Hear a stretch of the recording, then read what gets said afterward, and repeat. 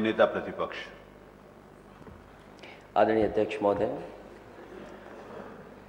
नेता सदन माननीय मुख्यमंत्री जी, और सभी दल के नेता, मैं आपका धन्यवाद देना चाहता हूँ कि जहाँ लता मंगेशकर जी को न केवल भारत बल्कि दुनिया में याद किया गया, और जिस समय उनका निधन हुआ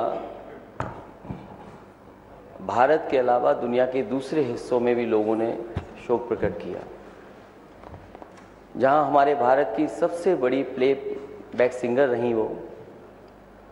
और भारत की ही भाषाएँ नहीं, बल्कि अंग्रेज़ी, रशियन और भाषाओं में भी उन्होंने गाना गाए। जहाँ वो हमारी हिंदी और हिंदी फ़िल्मों की मेलोडी क्वीन कही गई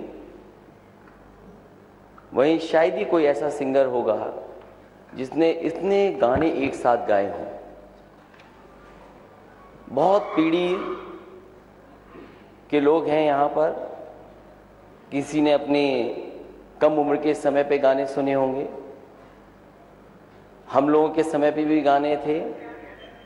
और आखिरी वक्त तक जो म्यूज़िक कंपोजर्स थे, उनके लिए उन्होंने गाने गाए। जैसा कि माननीय नेता सदन ने कहा, उन्हें सभी अवार्डों से सम्मानित होने का मौका मिला।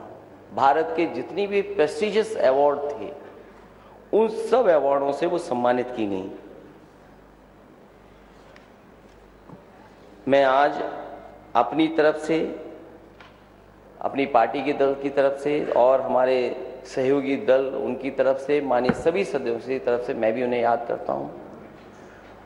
उनके खोने से फ़िल्म इंडस्ट्री के साथ साथ समाज को बहुत बड़ा नुकसान हुआ है। ऐसे सिंगर्स कभी कभी पैदा होते हैं। और ऐसे लोगों के अंदर इनबॉर्ड टैलेंट भगवान ही देता है। इसलिए मैं अपनी तरफ़ से, सदन की तरफ़ से और पार्टी की तरफ़ से उनके जो भी सहयोगी परिवार के सदस्य हैं, उन तक हमारी संवेदनाएँ पहुँचें वहीं जो माननीय सदस्य हमारे बीच में नहीं रहे। मैं अपनी पार्टी की तरफ़ से, माननीय सदस्यों की तरफ़ से उनको भी श्रद्धांजलि देता हूँ। उनके परिवार के सदस्यों तक यहाँ का संदेश है। बहुत बहुत धन्यवाद।